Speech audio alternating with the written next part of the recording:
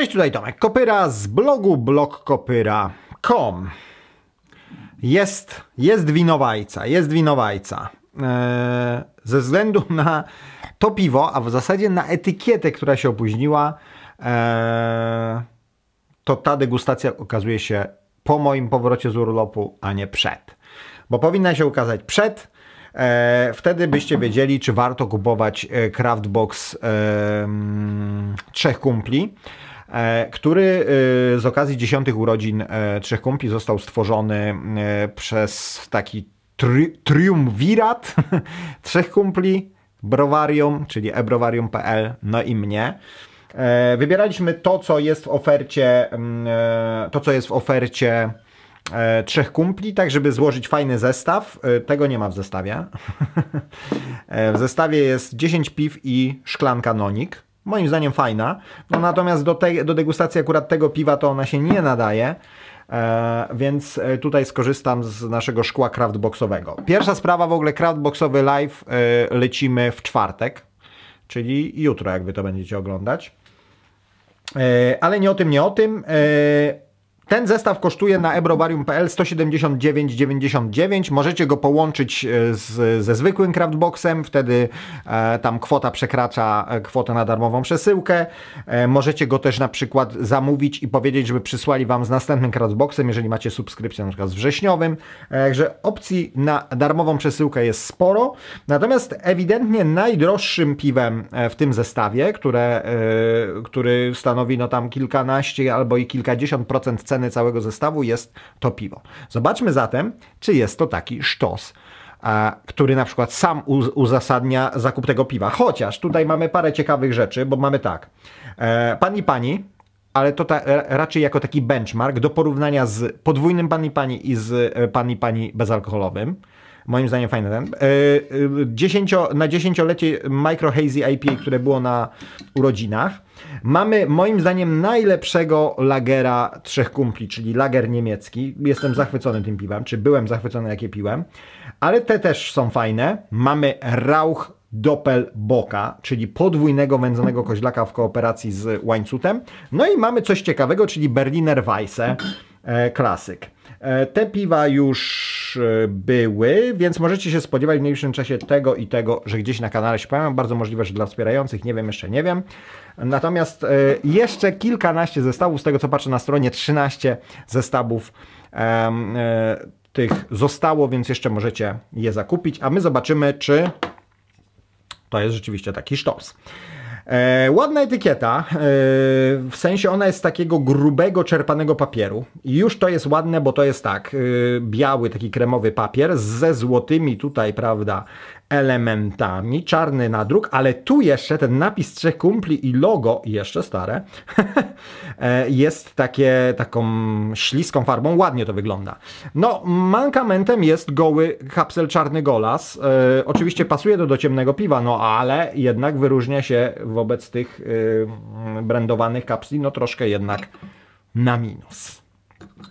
Może miał być lak, a, go, a jego nie było. E, tak jak powiedziałem, czarny golas. Świętujemy dziesiąte urodziny. Nasz imperialny stout, idiota, leżakował ponad dwa lata w drewnianych beczkach po bourbonie. Dzięki temu procesowi zyskał przyjemne nuty dębiny oraz samego destylatu. Jego aromat i smak wzbogaciliśmy poprzez dodanie wędzonych śliwek, suski sechlońskiej, produktu regionalnego z bliskich nam Beskidów.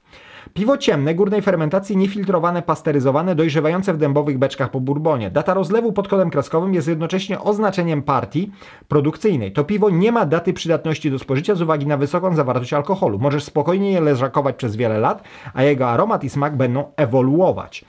Um, unikać e, nasłonecznienia, przechowywać w chłodnym miejscu, butelka bezzwrotna. Alkohol 11,6. A szkło e, do degustacji to e, snifter, e, który też możecie nabyć, ale z kolei tylko z zestawem craftboxowym miesięcznym. No, czarne jak smoła, ale to na co należy zwrócić uwagę, to jest barwa piany. Otóż tu jest tak dużo słodów palonych, że ta piana, ona nie jest beżowa, ona jest brązowa. Ona jest brązowa. Niezbyt obfita, ale jednak brązowa i taka naprawdę bardzo ciemna, bardzo ciemna. Taka kojarząca się nawet ciemniejsza niż na, na kawie, bardziej niż na jakiejś czekoladzie yy, yy, takiej do picia. I od razu czuć właśnie czekoladę, wanilię. Tak, przede wszystkim pachnie risem barrel aged. Śliwki na razie nie czuję, to dobrze, bo nie chodzi o to, żeby zrobić kolejne imperium prunum, które naparza śliwką, tylko ta śliwka ma tam być tym tą truskawką na torcie, śliwką na, sta na, na stałcie, nie? Nie no, pachnie zdecydowanie jak ris, czyli czekoladowo, z, z wyraźną wanilią od bourbonu. No, pachnie jak sztos. Spróbujmy. Takie drewno też. Mm, o, mm. o, jest śliwka, o, jest śliwka. Pierwszy smak to jest bardzo słodki, czekoladowo-waniliowy. Czyli klasyczny ris, ale potem wchodzi dym. Dym śliwkowy, który nie jest tak agresywny jak w na przykład tym Imperium Brunum, ale jest, jest zaznaczony. On łamie ten słodycz. Ono, ono, ono się staje naprawdę wielowymiarowe to piwo.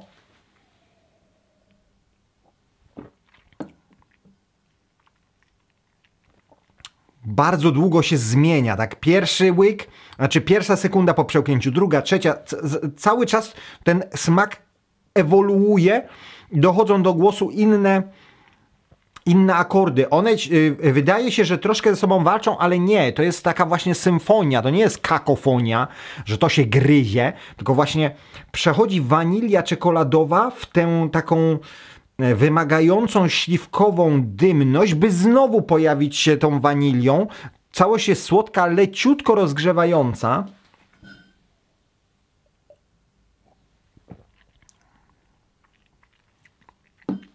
No to jest sztos. No to jest sztos.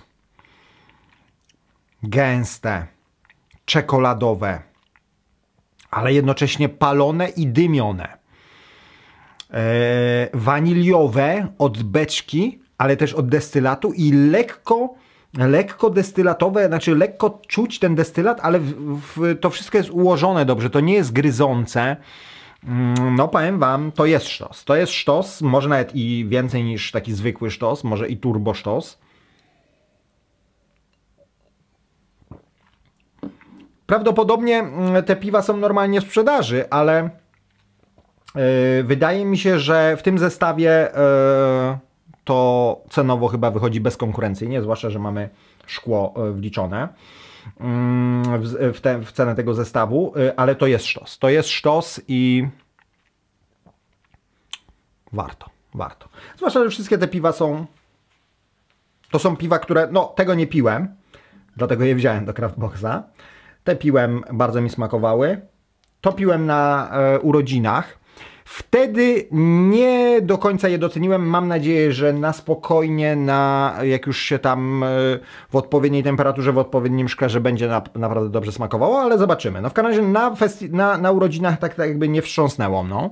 E, to z kolei na degustacji e, wyszło mi, że jest takie, no niby fajne, ale później je doceniłem bardziej. Natomiast to, to jest naprawdę turbo sztos. A, no i nie wspomniałem o najważniejszym. Żartuję najważniejszym. Bezalkoholowe pan i pani. Jeśli nie piliście tego, prawdopodobnie najlepsze bezalkoholowe piwo pod względem aromatu i takiej treściwości. Zero brzeczki. Jedyne, co tam można poprawić, ale nie każdemu to jest potrzebne, to troszkę wyższa goryczka. Natomiast y, tutaj nic bym nie zmienił. To znaczy, wydawało się, że e, no, e, Smoked Plum, e, Imperial Stout, no to wszystko już było, nie? Ale tutaj to nie jest Y, piwo zdominowane przez suskę, przez suskę cechlońską, czyli przez śliwkę dymioną.